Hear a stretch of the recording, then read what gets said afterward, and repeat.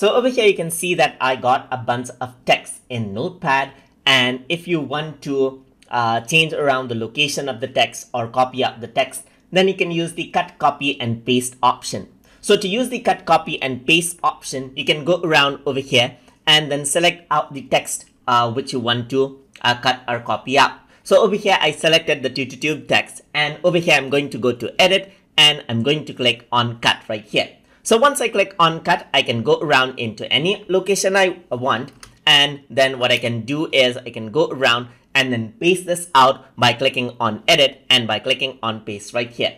If you want to simply uh, copy out the text without cutting it, then you can go around, select out the text. Then you can, you can click on edit and then you can click on copy right here. And then you can click on edit and paste this out right here. And that is how you can use the cut, copy and paste option inside of Notepad. So hope you guys learned something as always. And as always, please like, comment, share and subscribe.